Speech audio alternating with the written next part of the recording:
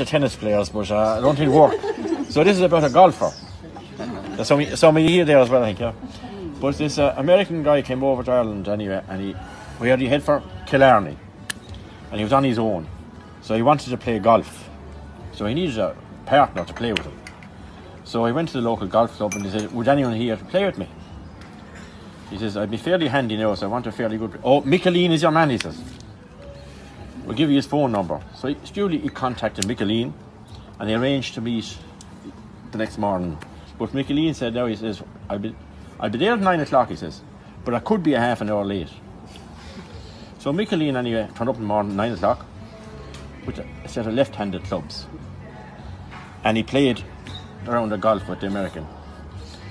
And he beat him fairly convincingly, you know. So the American wasn't taking this too too handy, you know. He said, Will you play me again tomorrow? Uh, I will, he said. He says, I'll meet you at nine o'clock, he says, but I could be a half an hour late. So I arrived the next morning, nine o'clock, with a set of right handed golf clubs. So the American said, I'll have him today. But Mickey anyway played just as well with the right handed and beat him again convincingly. So he says, I'll have to play you once more, he said.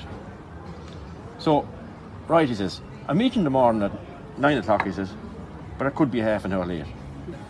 Hold on a minute, said the American. He says, You come out yesterday morning, you play left handed.